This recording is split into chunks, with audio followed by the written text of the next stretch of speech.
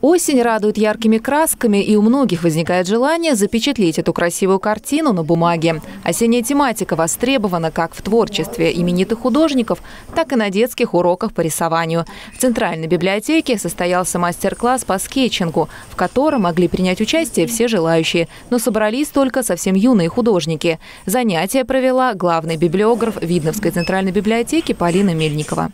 Из-за того, что у нас сейчас продолжается пандемия, мастер-классы проходят не очень часто, не так, как нам хотелось бы.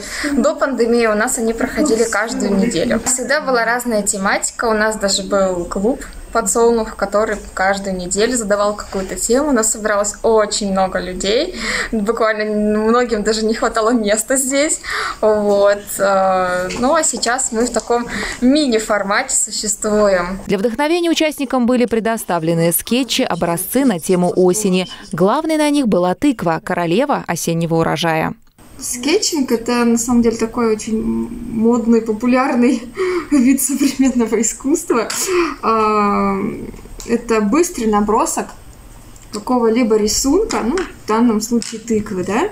Вот, мы его быстренько рисуем карандашиком, и затем мы его раскрашиваем, например, акварелью или какими-то маркерами.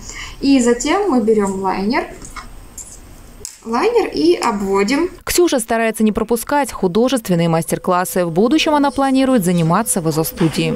Я хочу нарисовать эту лисичку зонтиком, потому что она очень милая. Рисовали на специальной акварельной бумаге. Она очень плотная и позволяет впитывать достаточно большое количество воды. Акварель у нас любит воду. И чтобы получились вот такие интересные переходы, цветовые, да, то есть мы делаем э, разную степень насыщенности одного цвета, да, мы делаем не с помощью э, разных, комбинации разных оттенков, мы это делаем с помощью воды обычной. Творческие мастер-классы проходят в библиотеке регулярно, и принять участие в них может любой желающий совершенно бесплатно. Наталья Буслаева, Ольга Садовская, Видное ТВ.